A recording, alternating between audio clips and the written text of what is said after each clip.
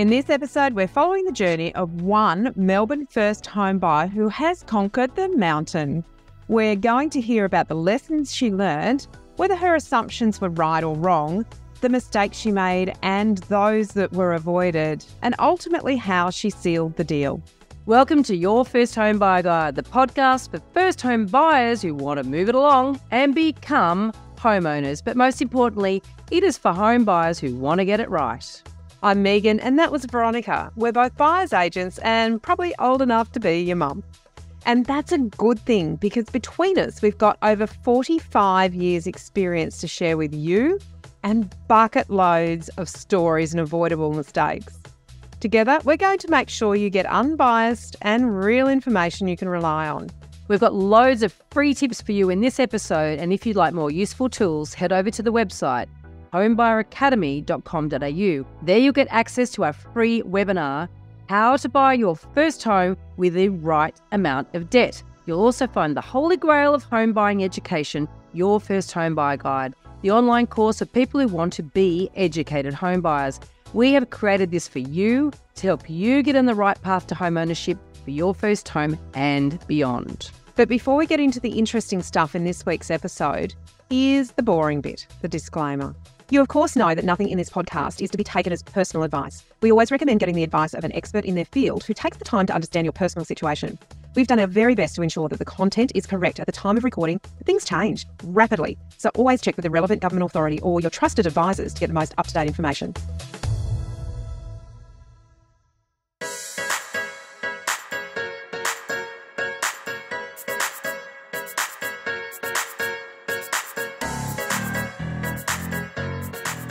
Gwenda is a Home Buyer Academy graduate, and we're so excited to be sharing her story today. Thank you so much for coming along.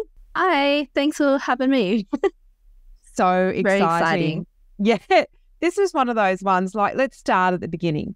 When did you first decide that you wanted to buy a property? So probably like after I graduated was, was like when I was like, oh, I'll have a full stable income um, I'll have the money to be able to like, you know, buy a house, be able to get a loan, you know, and all my friends were doing it. Um, so I was like really good because like we, I had been working part time while during uni, um, whereas they had pretty much working been working full time during uni as well. So they were a little ahead of the game. Um, so like everyone's been buying it. I think it's good to have a place to call your own. Um, so that's why I wanted to like, you know, once I graduated, it'd be great. And then COVID sort of happened.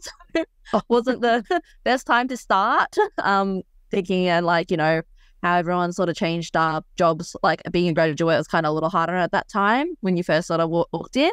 Um, but yeah, started planning from there and probably found their po- your podcast maybe like six months into my search of like sort of planning and just like sort of doing my own thing. So um, it was really good to ha- sort of have a guide and like, you know, hear more about it and sort of just know where to get the information from. Um, so pretty much started with just sort of like saving, working out my budgets for like the longest time. Um, Tell us more about that. Through... How, how did you come up with the deposit? What were some of the tricks and things that you did? Um, so I think tracking everything that I was spending, which is not for everyone because I'm a bit of an overthinker. Um, so what I did is probably read books like The Barefoot Investor, sort of just to get my buckets like sort of correct, how much I could save, um, you know, those sort of things, and like allocate everything. So I was listening to something once, and it was like I was doing this, but not too sure that it like had a name. But it's called like working with budget zero. So it's like whatever your income is, is what you budget to use for the whole entire month.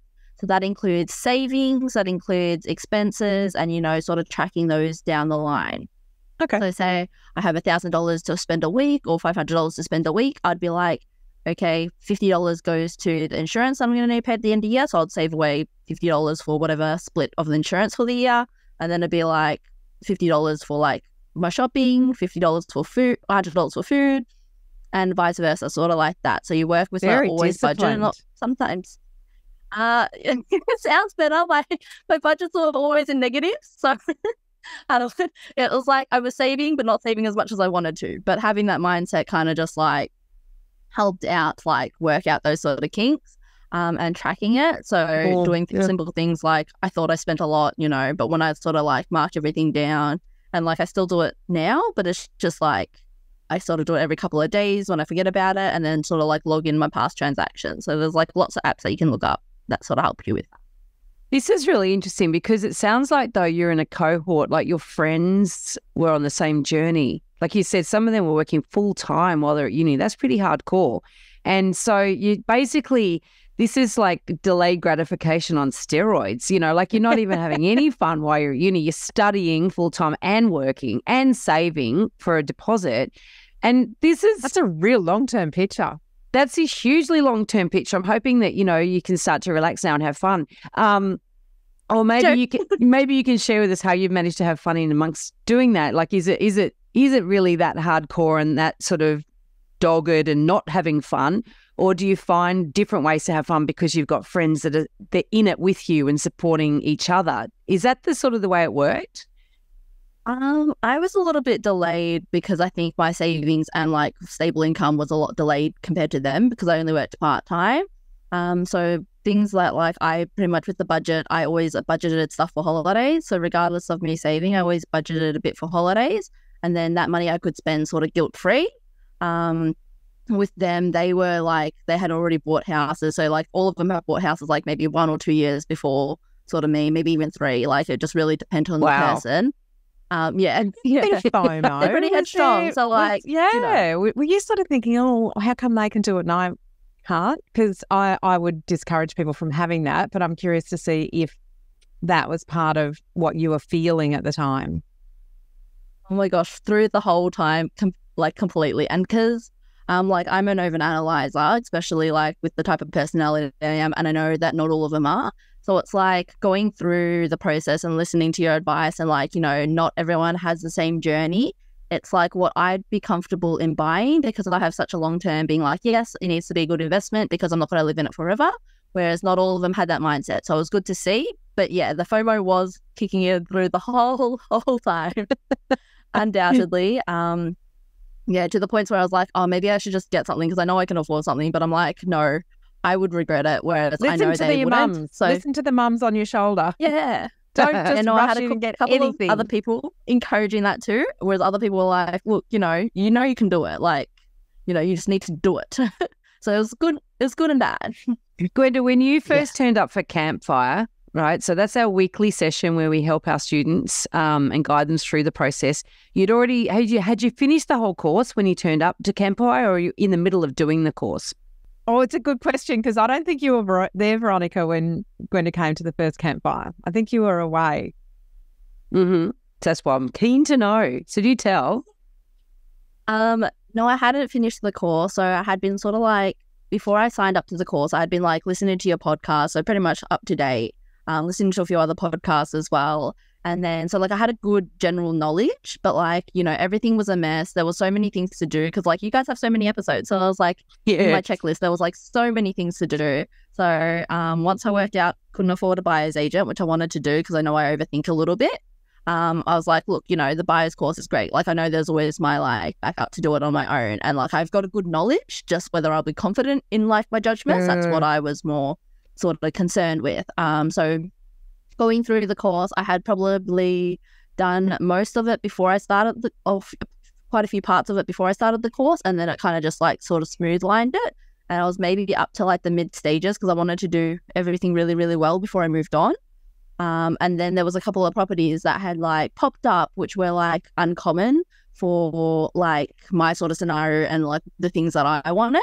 So then that's when I was like, look, I'll get some advice because I have a good general knowledge. I haven't done the full course yet, but like I have a good general knowledge and a good gut. So maybe I should just like sort of like tease it out and like see what I'm like missing and, you know, just to clear my head a little bit. So that's when I joined the campfires, which was really, really, really good because I didn't end up going to bid for either of those properties and took my time a little bit more. And now I'm with the property I have now and I'm really, really happy. We are going to get to that. But I actually was in the first time. Oh, you um, 'cause were? I went Yeah, sorry. overseas, remember, and then I came back for a couple of weeks, and then I went back overseas. So in That's that right. time is when you joined us, Gwenda. And I remember you bringing us those two properties saying, Oh, I, I feel the pressure. I feel like I need to jump on these. And then we were able to go, hang on a minute, let's just look at the bigger picture. And we sort of stepped back and looked and was like, oh, uh, there's no rush. And so that's fascinating because then you started bringing us different properties and you started looking at things slightly differently, correct? I'm curious to know what was going through your mind at the time when you felt like you had to act and then then you, you got to be brave to then not act. Once you've made that decision to act, you got to go, okay, I'm not going to. What was going through your mind at that stage? Um, so the first thing was like I have to act is because initially that's where I started my searches in that area and worked out couldn't really afford things that I wanted, so I branched out to different areas. Um, and then what I probably spent too much time doing like through the process beforehand was doing a lot of like analytical sort of like data collecting and knowledge of like prices, markets, what I'd be happy with without actually going to walk around and actually go to inspections. So I had Oh. spent probably, yeah, I had spent like three or four months, I would say a good three or four months looking in like two or three different suburbs um, compared to the ones the that desk, I bought I in and the I ones that I wanted it. So at the desk. Mostly at the desk is what yes, I remember. Yes, yes, mostly at the desk because like it made sense to like in that order you need to do your desk research to know where you can afford before you start looking. But I Mm. did too much in that desk knowledge, which I was probably one of the things that I would have like said I would have changed is like do a bit just like real, real general. Go out to inspect first, go to auctions, look at places, and then come back to do that same sort of research. So I kind of missed that step a little bit. Like I still did it quite like quite well for the, the house that I purchased now, um, but I did miss that step. I think like when I went back to like other places to search. Um, so And that's step yeah. five in the um in the pay system, which is uh, your first home buyer guide course. Step five is Yep. revise and correct. exactly that. Get out there, think I was at like three or something Yeah. for too long yeah, before even going Yeah. to four and inspecting, and then yeah. you know would have been a lot quicker otherwise. which is gold. I mean, it's it, it's amazing how much time people spend in planning. It's like a lot of people say to us, "When should I do the course? You know, should I do it when I'm ready to buy?" Well, no, you actually need to do it when you're when you're in that planning phase, when you're in that sort of trying to work out, well, do I have enough money? What should I be looking for? You know, that sort of trying to to it's the levers that you have to pull basically before you actually ready to to act. So that's Yeah. pretty cool. So when you actually got out there on the ground, off the desk, got out of your chair and went out the front door and started walking around and getting to know sub uh, suburbs, what did you learn that was different to what you were learning at your desk? Um, so what I was learning was I think the surrounding areas because the property you buy might be like fine or like the ones that you research, you're like, yes, I'm happy to live there. It's within the distances I want to things. And then when I walked around the area, you could see that that maybe that was a done up house around the, the area that like had a lot of like dilapidated houses. And then just like walking to those stations, I was like, oh, I have to cross this busy road. I don't like crossing this busy road. There is a lot of traffic here. Sort of knowing how far your house needs to be away from the traffic for you to like not sort of hear it. Yeah. I think that was all sort of like big things. And like I walked like the first time I like did that sort of inspection in like those areas once, I'm like, oh yeah, I've got a good judge of like what I want, what I can afford in this area. And like walking for like three or four like hours, you kind of realize distance actually does matter when you get tired. So it's like don't think about when you've got full of energy you can walk this distance, like a 20 minute walk's fine. But then when you're tired and like, you know, like a daily commute, you'll be like, oh, 20 minute walk is actually a pain. I'm only ever going to drive now. So like walking when you're sort of like tired and like if, if walking distance is important to you, I think that's sort of good to know. Um, because yeah, that changed my whole like like a whole suburb that I thought I would buy in because it's got like shops, it's got like things, um, it's like close to local amenities was just not the place that I wanted to buy. And everyone was telling me this like months ago, but I was just like, this is what I can afford. I'm not going to live in it forever. It'll be fine. Walked in there, like, I don't even want to live in here for like two years. So, you know, unless you go up in there and you're okay with that, I'm like, oh, maybe I don't. maybe I just have to go further out and somewhere else. And And and yeah. I, I think you you've nailed it when um and we've got quite a few um personality types like you where you you do overanalyze and you get really stuck in analysis paralysis and getting outside and actually putting your feet on the ground and feeling and experiencing things it is a really important part of the process. It shouldn't be the decision making part of the process because we talk about you know when you move into that phase it's about the head being in control not the heart. But you have to you if you're going to live somewhere you really need to engage the heart at some point during the process to say am I going to really enjoy my life in this place or am I constantly going to be beating myself up saying, I wish I'd done something differently? So good on you for having that, you know, getting yourself out there and, and getting out of the chair and putting the analysis aside for a little bit to let your, your heart be part of the process. But then you put your thinking cap back, back on pretty quickly because the type of property that you were initially looking at is different to what you ended up buying. So tell us how that changed for you. Um, so I think I had like a good judge of like what I sort of could afford because I know what I wanted to afford. If I like could afford a house, I'd buy a house, which sort of led me to my property decision in like a different area. Because I'm like distance wise, it's about the same distance to the city as where I am, except for like the certain places I could buy. I could only buy like maybe a unit, a townhouse, like more likely a townhouse, which is small, double story, like you know for future planning. I think my life goal was like sort of like have this place as an investment. But after listening to your podcast and like, you know, a couple other things, I was like, okay, what am I going to use it for? Like when it's not an investment or like, you know, future life stages, will I be able to use it? Because if I can use it in future life stages, that'd be better. So I was making sure that it's maybe a property I can retire in. So like, you know, live in it for a little bit, uh, rent it out for a bit. That's when I probably will do like renovations, changes if I need to. And then sort of like future, if it's convenient for like me when I'm old, that'd be great. Or it can continue being an investment. So I was like, those were the two things that I was considering. Um, so that's why distance to a station was really important to me um, because I'm like, when I'm older, I don't want to drive as much. Even just now, I don't want to drive as much um, working in the city. But like, so I had houses that were in certain areas that were close to a station and could afford that until like my properties, cha- my location changed. And then I was like, okay, so not in this location anymore now in these two other locations, sort of what sort of aspects, safety, this and that, like my own sort of lifestyle changes. Yeah. Yeah. Um, I would have preferred it to be closer to home, which I was lucky enough to afford close to where my sister lives and where my family lives. Um, but I had the option of like, look, you know, I might have to move further away somewhere else on like the west side, which will be a 30 minute drive from family um, because that's what I can afford. So avoiding the new suburbs near my my like my sister and my mum's like area. So instead of going like 20 minutes out that way, I'd be like 30 minutes out, like in a completely different side. So that's sort of how my it changed is when I was like, okay, I can't just think about what I want. Now I'll have to be sort of location based.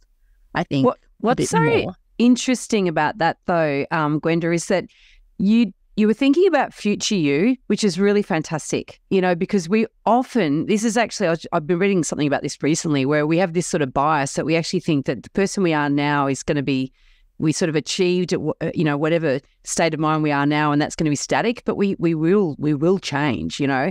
So you're thinking about future you, but in the process of doing so, you're thinking about what other buyers would be interested in that property down the track should you go to sell it.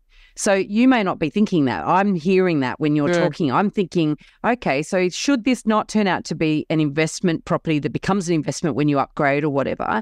Should this be a stepping stone property only, then then who's going to be your future buyer? And you're thinking about them and the versatility of that property and the, and the numerous different types of people that would be interested in the property now. That's that at its core is the fundamentals of capital growth. you know, making sure lots of different types of people want your property in the future. So, and that's really sound way of approaching things. So, both from a personal um, approach as well as for that that sort of investment lens. The other thing too that Megan was saying about you know engaging your heart at some point so many people when it comes to property they think that that's a silly thing to do this should only be the numbers. It should only be you know using facts. The fact is that homes are emotional. And actually there's a lot about understanding your emotional response to a property and, and why you want to live there and whatever that actually is at the core of capital growth and, and a good investment choice as well. So ignoring all of that would be at everyone's peril. So uh, we're, um, you know, we're, we're really glad that you listened to that response to yourself to think, no, I don't want to live there for two years. Excellent, because others wouldn't want to either. So, um, great work on that. Now, when you found the this, other, can I just keep stay on that one just yeah. for a sec? Because the other thing that um, I did see a shift in was you were quite attracted to newer properties that didn't have a lot of work, and um, I remember some of the ones that, that we talked about were in um, you know smaller blocks, more densely populated, lots of the same thing, but newer. And what you ended up buying was actually a bit different. It had a lot more land around it and is a little bit of grandma's house um, or Nana's Needs house. a lot of work. you know, it needs a lot of work. So you actually had a shift in in that, and I'm really interested um, for you to share with with the listeners what what brought you to that change, and how do you feel about that now? So I think I was always looking for like the older property, but then I think like ease of it, just like the newer properties always like just attracted and like if they fell fell within the budget, then I was like, oh okay, like this is good. Whereas it's like the older properties that fell within my budget needed a lot of work and I couldn't afford the renovations for that. So I think that was what eliminated a lot of the old options because when I was looking at old options, I was looking at houses only. Um, Yeah. Especially in my area because there, there aren't very many old townhouses or units. Um, so everything was new if for what I could afford. And even if I could barely, barely afford a house, it'd be like I need at least like a hundred thousand to renovate it. So like it then became out of my budget because you can't loan that. Um, I didn't, yeah, don't have enough for that. But I, the property that I bought was well below my maximum capacity, which I was going to borrow some money off my mum, which was thankful, so thankful for her, um, which will be able to make me able to do these renovations. So my full purchase price, which is why it changed, because when I was buying a house, I could loan the full amount without having to do renovations. So I wasn't like trying to do things without renovations. But this place fell within my budget, which I could afford to do renovations. So I had to have that complete sort of change because the old ones that I could afford were not within my budget because I couldn't renovate, and uh, there wasn't a chance that I was going to live in those properties um, in those conditions. And Yeah. like, great if I had an extra bit then, but yeah, that would have changed my whole sort of price point, I guess. And just for the listeners, what Gwenda has purchased, which is quite common in Melbourne, is what's called a villa unit. And so that is where a single level dwelling, often freestanding, not always, but often freestanding, but also with garden. And so you end up with a, in fact, some of the houses that you were looking at, because every week you'd bring us links of things that you're looking at, and we will go through the pros and cons of each one. And some of the houses that you brought to us, which were Torrens title, they had less land around Less them than this yeah. property you ultimately bought. Like you've actually got a lovely big garden and lots of potential to do really nice things with that.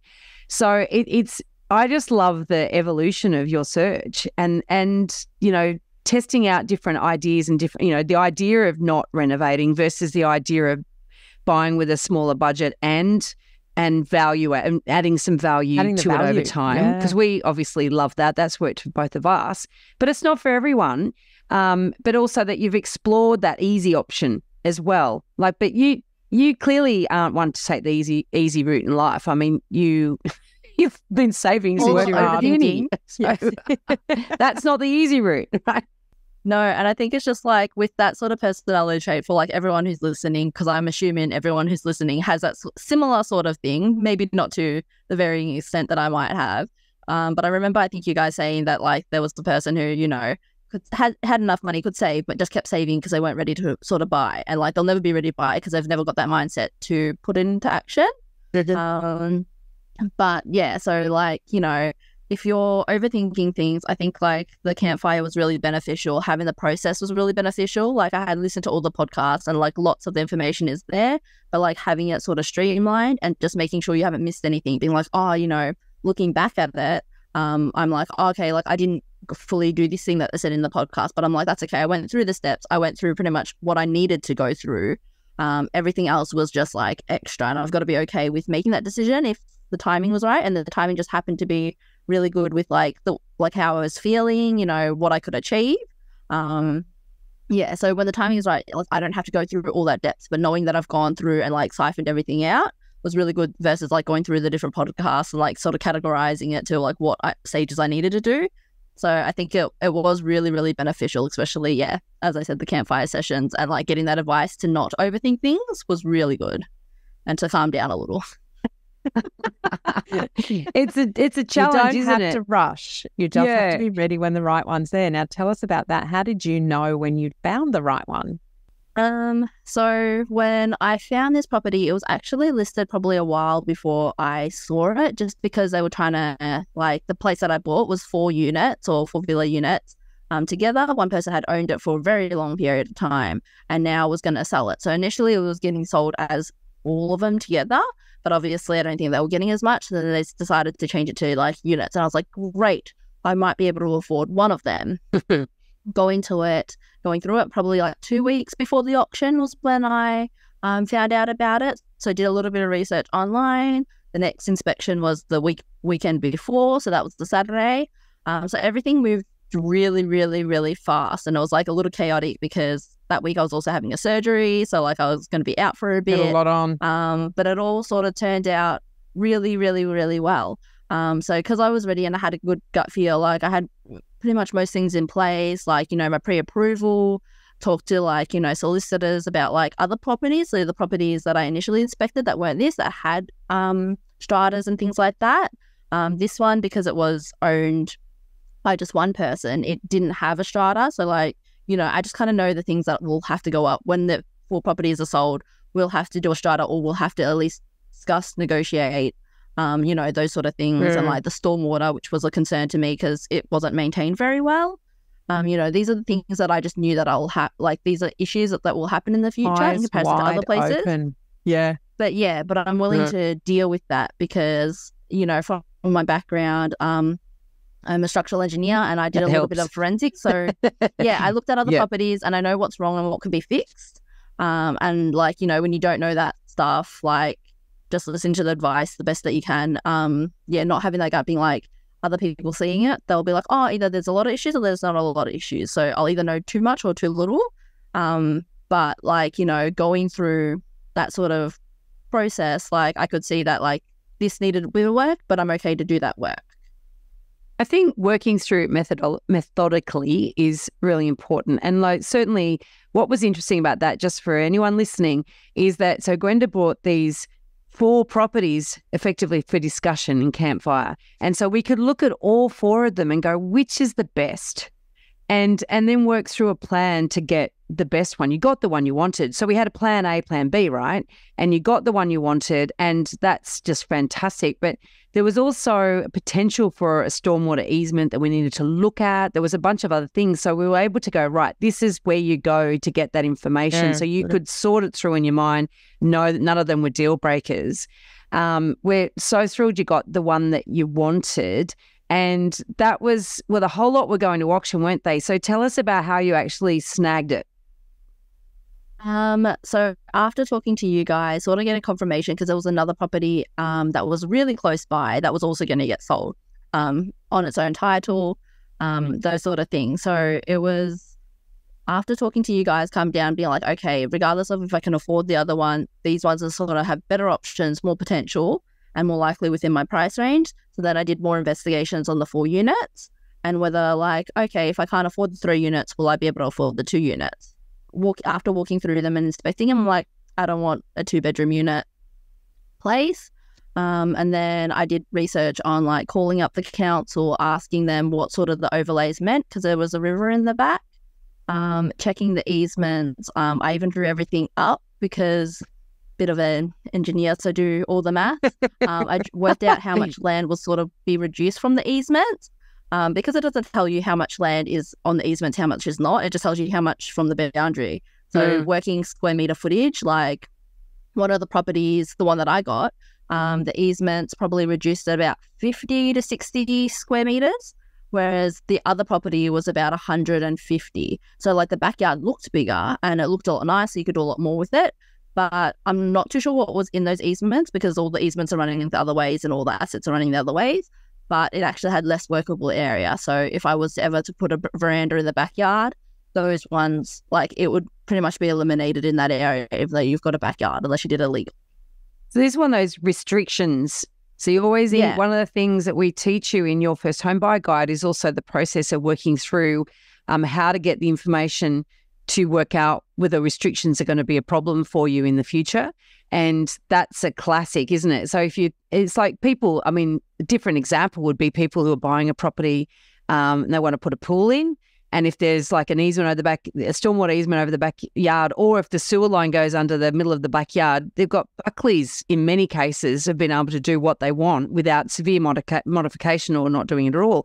And Well, so, conversely, it might be there and it might be scaring other people off, but where you want to put that pool is achievable. I've got a stormwater easement through my property, Yep. but it's right at the back of the house. So I've got this huge yard that I can put the pool in. Um, but I just need to des- design the house to fit around that. So Yeah. that scared other people off, but it was an opportunity. you go, I can sort that one out. Yeah. It's um I like I like the red flags that you can deal with, not red flags that Yeah, cannot I be like dealt that. with. And that's what you're looking at. I mean, obviously you bring the benefit of your engineering expertise and your your career. Um, but you know, there are other experts people can actually get to advise them on this stuff if that's the case. So once you made your offer, how did you go about that? Yes. So sorry, I kind of like deviated from the previous Sorry. topic. Um, but No, yeah, no, no, no. So yeah, yeah, you realigned me. So yeah, that's good. Um, so after our campfire session, you were saying, look, even though you know a lot of these things, it's good to get a building inspector. Um, and it was literally the Wednesday before the auction, so it was like two days to do an um to do an inspection. And I was like, look, I don't just don't think that's possible. Getting that, getting the report, getting a talk. Um, I don't think that's possible. But I was just like, look, you know, you guys said it. Look, might as well try. So I contacted, I think, the financial planners that I had um, for the mortgage process. Um, they had a couple of contacts, and so they gave me a couple of contacts, and I made the call. And they were able to do the inspection on the Friday. So I was able to get them to inspect both properties, so unit one and unit two. So the one that I was interested in, and the one other one that I might have purchased, because these were going on the Saturday.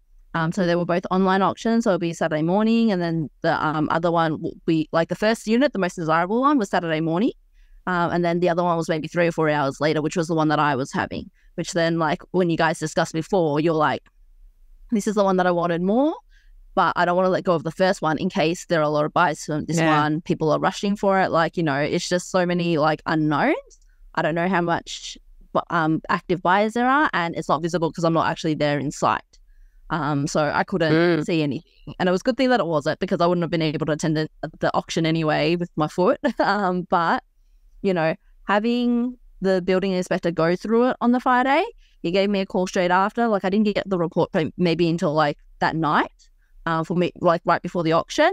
But because he had a chat with me probably like 2 p.m. on the Friday, I was like, okay, cool, great. There was a couple of other issues that I didn't know about unit one. He's like, look, it's damp in unit one. There may be a water leak in the bathroom. So you might need to fix and renovate that. And I was like, yep, I think I was going to maybe do both. But Yeah. that one was slightly newer. So that one was less likely to have renovation works to the bathroom, whereas the one that I'm buying was a lot older and I was more likely to do the renovation work. So when I got all the information from him, all the things that need to be done, not worked out there was no insulation, you know, stormwater and things that that, that I knew that I had issues, confirmed it. Um, because I think I had that when I put in an offer, like probably like the next hour or so to the real estate agent. He put it forward to um, the vendors. So I didn't hear from him until actually like nine o'clock that night. He's like, I've only just left, which is the only reason why I'm calling you now. Um, but you've got it. So I like it was only hours before, like pretty much less than 24 hours before the auction that I put in a bid and I was like, my family was like, look, you know, put in what you're comfortable with. You know, you might pay a little bit more during the auction and like, you know, if there's other buyers, but put in what you're comfortable with now. Because if not, the auction's tomorrow anyway. You're going to find out, they're going to find out, like, you know, it'll be fine. So put in what you're comfortable with that's not overstretching your budget, um, not to just nab it since it's so close anyway, um, because they can just go, oh, I know the price. This is what my baseline is. Um, but yeah, they accepted it like, yeah, within those hours. So may not have been as many buyers for the second property because it was older, but it's what I wanted anyway. So I need to remember that's it's okay. Exactly. yeah, it was And- a bit chaotic. and we know you did you did your price research so Yes, you, you so your price that you're prepared to offer was based on evidence but have you gone and found out what the other one sold for and I'm not too sure if he'll Oh, tell me. But that's I know I hilarious. will, I will let you guys know as soon as I find out. But I'm just like giving them a little bit sort of more time because I was just like, do I just call him just to ask? Because I was like, I don't know. I just it's obviously not Look, published sometimes it doesn't matter. Um, No, no. and- So, yeah, and the so it's fact not is that you got so it's the one that you wanted. Yeah, yeah, And, Yeah. and at a price. yeah, yes. I want to just go through your journey with um, Homebuyer Academy because this is really interesting. You actually downloaded the free mini course on the 8th of May 2022. Ah, wow. Do you remember that? So then Yeah. you did the tutorial uh, no, then you purchased your first home buyer guide on the 14th of August, 2023. So you've been listening to the podcast all of that time in between. And, you and joined, before that too. Yeah, you joined Yeah. Campfire on the 6th of September. So you did a bit of work on the course, you did some work, and then you, you joined Campfire, which is our weekly mentoring sessions. Mhm. What date did you purchase your home? Um, on the 12th of October, because it's November now. Yes, 12th of October. So literally a month ago. Two So months after you purchased the course. Yeah. Congratulations. Wow. Yeah. That is Thank putting it into action. yeah, and you didn't rush. And that's the thing, I guess, what I'm trying to say is you did a lot of pre work to get yourself into a position and were initially a little bit frantic and feeling like you had to run, run, run, run, run. But actually, Yeah. when you stepped back a little bit and said, no, no, I'm in control here, there are options for me, you, you actually moved forward with um, a, a really definite direction without feeling pressured by time. And I think that's Yeah. just amazing. I'm just so proud. thanks. Yeah, I couldn't be more happy with the location. Like it sort of, besides knowing it's going to be a big headache um, of like a lot of work, um, but like you know, I think that's definitely something that I can like work with. But it like hits so many of my boxes, um, and yeah, because of that, like I got it within a price that I could afford, less stressful, have more flexibility because renovations can always be done a little bit later. Yes. Um, but yeah, Yeah, some of it those will- things it can just be be, a little ticked work, off along so- the way. Yeah. yeah, will be a bit of complaining, but um, yeah, no, doing it and like, you know, having that flexibility is also really, really good for the people who are willing to renovate. Like to know that, like, you know, you've got a little bit more flexibility if you have that cash flow instead of using it to the deposit, like using it to renovate. Yeah. I think that flexibility, if anything goes wrong, it's always good. So, and it's amazing what a lick of paint, um, new floor covering. So, it might be ripping up carpets and either replacing them or polishing up floorboards or whatever's underneath, and new curtains, blinds. Like they are, and they still cost something, obviously, but a lot of that you can DIY as well. And it's amazing the difference that that will make, even with an old kitchen, even with um, old bathrooms. I've got a renov- uh, investment property I bought back in in a tw- 2012 and literally spent about 20 grand. Oh, no, it was a while ago now, a good 11 years now. Um, but, you know, I remember I spent 20 grand on it at the time, just freshening it up. It just looked like a different house. and and I'm quite confident. I've seen the photos of this one. I'm quite confident a similar refresh, and then you can take Yeah. your time with the stuff that costs more. The big picture. Yeah, that's great. We are so excited for you. We know Yeah. when Gwenda said uh, she sent us a message, um, just for the listeners. Gwenda sent us a message before campfire to say, "Look, I've got something to tell you, but I can't actually make it at the start of campfire." And unfortunately, we'd finished Yeah. campfire by the time Gwenda was able to join, and so we all had to wait until the next week. a week.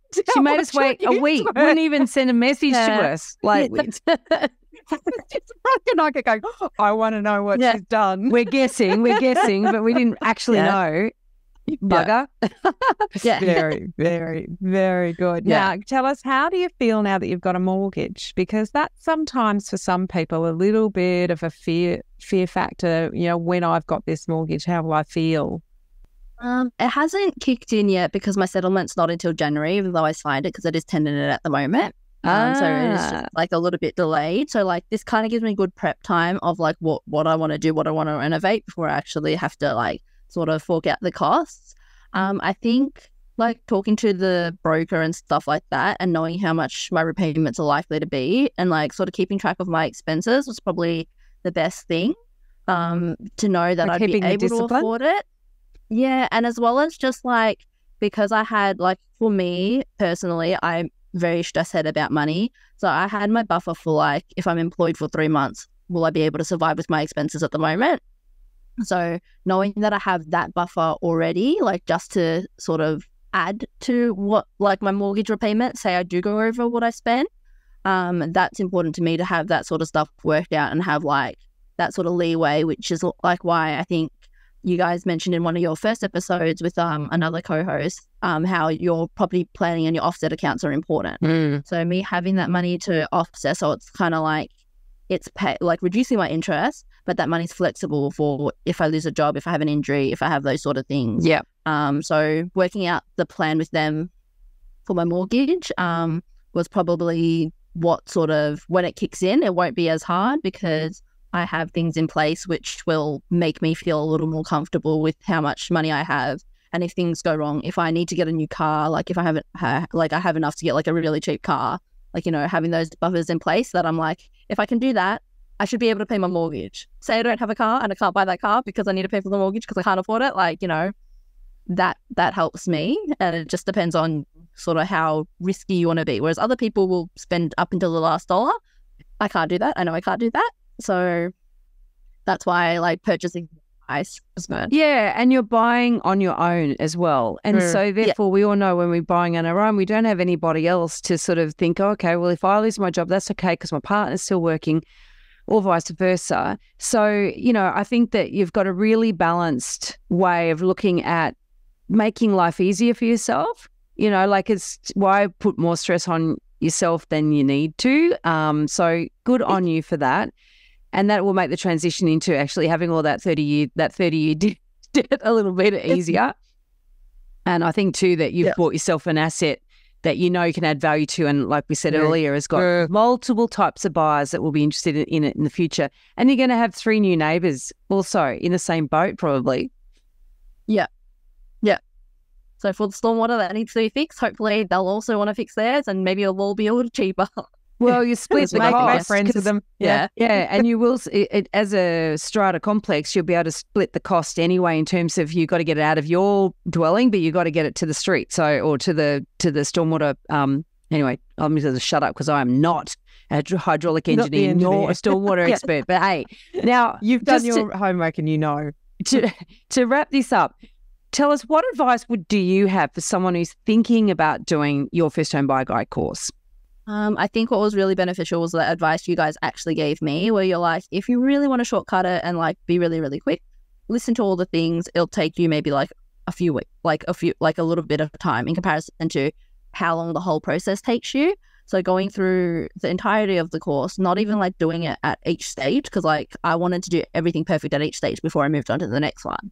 But your advice was kind of to go through all the stages, which I, I did that first before I did all my sort of investigation into other suburbs I wasn't going to buy.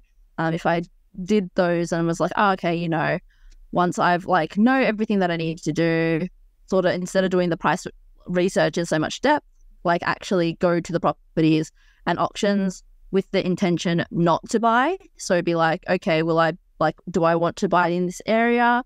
Um, check out the area as well as just attend auction so you know what the market's at. Because with the two properties that you guys said at the start that I was really keen to buy, there's not very many of them. So in my eyes, they were scarce and they are, but they also weren't as demanded in the market, whereas no one put a bid for the first place. The second place, there was two bidders. One of them was really strong, uh, which was like the sort of market for the two bedroom house. And it was like a couple with a child. So I was like, okay, they're happy to live in that, like buying it on their own. But I was like, okay, it's still further than what I want from a station. So like knowing where you can afford and like where the market is at, I'm like, okay, well, I don't want to buy in this area as much because even though it's a good asset, I don't think it's highly sought after. Um, and that would be like things rental as well. Like it was close to schools and stuff, but I was like, okay, um, that sort of change shifted my change in things. So going out and inspecting to eliminate things and then not rushing into things, I think. Fantastic. So, if, if I could summarize that, I'd be saying that in a way, it's like binge watching the whole 10 modules or binge Yep. doing the whole 10 modules. Then they enabled you to step back and then go back and revise everything so you had more holistic view. That you were able to sort of, rather than be caught up in one part or one step of the process and thinking everything you had to know about just that step, you really understood how everything fits in as a total as a total jigsaw puzzle, if you like. That everything has a pa- place, um, and it all works in concert with each other. So, um, I'm we're thrilled for you. It's so I'm it's really so great. Glad to- you did that because that, Yeah. was, that was one of the things you got a little bit stuck and just said, just binge it. Just do it start to finish, get the big picture in mind, and then go back and be Mm. thorough in each step as you go along. And I think for you, that was almost an epiphany of, oh, okay, well, I don't have to, it's not like I'm studying for an exam. I actually just need to have a look at the whole thing and then I can come back and get my HD Be an in each expert. part of the process. Yeah. Yeah, Perfect pretty much. step. Yeah, Yeah. that's great. Yeah. It's been an absolute delight, Gwenda. We and we're not going to miss you actually in our campfires because you're going to come along and we're going to we're going to talk about what you're going to do to renovate it and add value to the property. So we're not going to lose you. So that's really lovely too. Yeah. Yeah, no, yeah, definitely. So I think that was also like in future, I was like, okay, as long as you guys are happy, because I know the campfire sessions, like, you know, you're helping people buy their places. I'm like, oh, this is like a little bit sidetracked. But um, yeah, knowing like what renovations I can do to sort of add value versus like, you know, still have the invi- investment mindset since you guys have that appeal of like knowing what people want. So I'm like, I don't want to renovate something that no one wants it, but I think it's okay. Yeah. Like, you know, so I was like, oh, it'd be great to get that advice. the broad appeal. because I don't know, I don't see him so much. I could, I'm happy with almost anything. So, you know, um, having that sort of bar and like, you know, what other people expect instead of a renovation is also like good as long as it, obviously it's within the budget. Yeah, one of the really wonderful things about Campfire is that yeah, we're there to help and help give you some some really targeted advice that you can go and step and move forward. But you can learn from each other. So other people who are looking to buy something, if they're thinking about looking at a property that needs some renovating, you know, when we're having discussions with you about that, they'll be able to sort of get benefit from that. Likewise, the last week in the campfire, we were talking about something uh, with you and other people were getting benefit from that. So I think that that's what's a really nice thing about Campfire is that there are people uh, experiencing similar things across Mhm. the country, really, sure. and and being able to learn from each other. It's co- it's uh, well, le- being able to learn vicariously through other people's experience it never hurts. Very true. And, and and I guess the, the safety net there is that we are there to step in if there is advice that's a little bit off track. Uh, Oh, and, we- you know, vastly different to property absolutely. forums that aren't moderated properly, you know, because Yep. it's great to give advice to somebody, but if your advice isn't right, then yeah, we're there to go. Well, actually, would I'd, I'd think about that a little bit differently, and and I think that's really important because the whole idea is this is actually access to expert advice, but without the cost of a buyer's agent. Um, and, and I think you nailed it when, when you said I really wanted to work with a buyer's agent, but it's not economically available to everybody. Uh, and that's the, the whole idea of us doing this and, and doing it in, in a group fashion is that it can be affordable and you can get the access. It's just you've got to do it for yourself. Well, so very grateful to you guys for all your help through all the years, regardless of you knowing. But like, yeah, I think that's Been a long hilarious too that we had no idea. And and anyway, thank you so we're much. So proud of you, Gwenda. your story. joining us and sharing your story. no worries. See you guys. In this episode, we've only touched on a tiny part of the huge amount of things you need to know to become an educated first home buyer. There is so much more for you to do. You can learn all of the steps in the right order and avoid all of the mistakes that others have made in our 10 step online course for first home buyers. If you'd like to learn more about the right process and avoid making rookie errors, become an educated home buyer. Head over to the website, check out your first home buyer guide, the course that we have created for you. And don't forget to subscribe to the podcast so you won't miss an episode. And if you've liked what you've heard today, please give us an iTunes review. It helps other people find us. And of course, I know it's a bit cringy, but we're going to ask for five stars. Thank you. Thanks for joining us. We hope you found this really useful. And if you have, please share the love with others who you know are in the same boat. We'll be back next week with more priceless stuff.